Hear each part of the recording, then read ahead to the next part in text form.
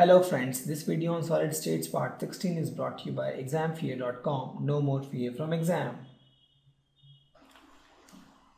Now we know tetrahedral void, we know octahedral void, right? Let's locate these voids in the actual cube.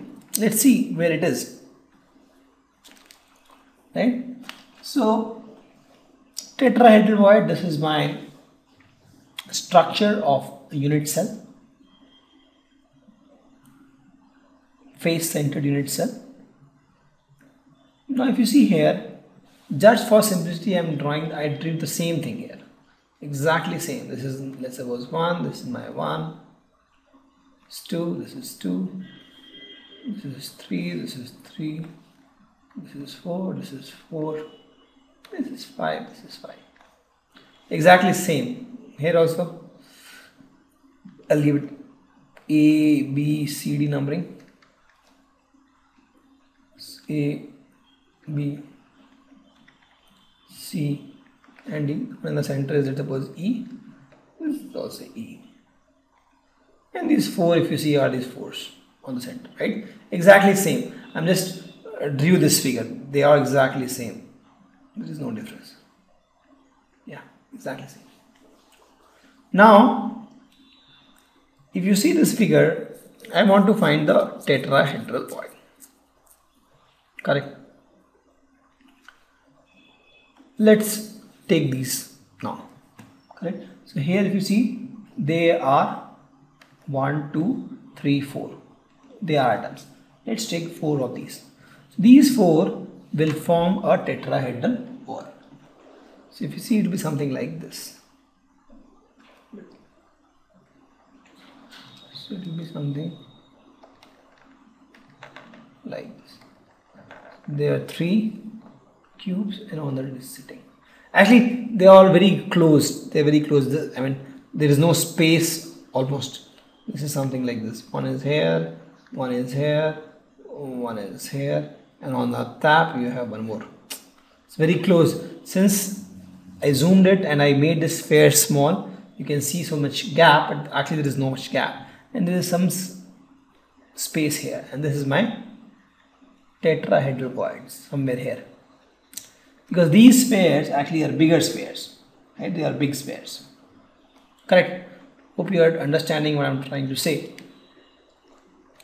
These three will actually be something like this all touching each other these three grains. And then on top of that there will be one more circle. This is my tetrahedral voids here also imagine these three almost touching each other like this right? And on top of that we have this this one big one. This is a small void created. This is my tetrahedral void. Now that is one void but you can create so many voids like that right? So instead of these three i mean you you took one right? So one is one corner. You can take one two three four five six seven eight you can try with any other corner. You'll get 8 tetrahedral in this picture right? One with this one with this. You take 1 2 3 correct? See one with this one with this. You take like that. So i mean you can get 8 like that. Correct so how many are uh, the number of cells? Number of sorry number of atoms. So number of atoms in this is nothing but four. We know one there are eight in the corners, each contributing one by eight. Six on the face, each contributing one by two. Total is four. So number of atom is four. Number of tetrahedral is eight. That is twice of that, and that is what we have seen. We have seen also that the number of tetrahedral void is twice the number of and that is true here also.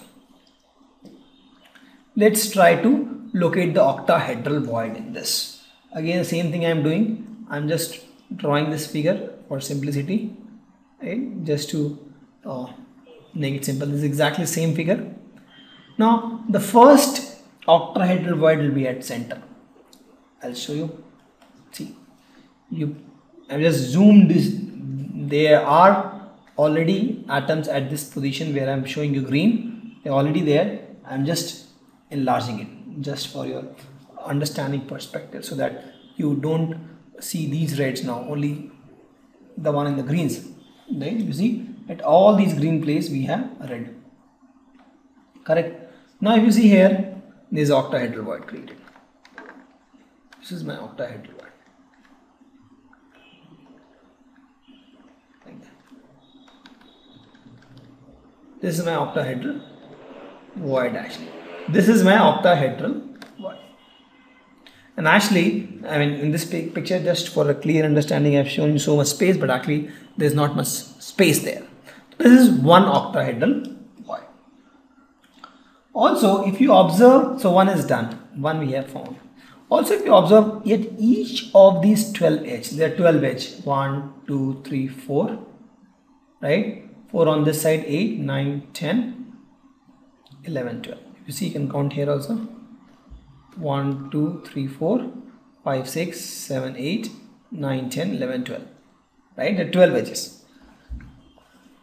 Now each of these 12 edges is actually surrounded by six atoms. So if you see this is let's take this this edge now.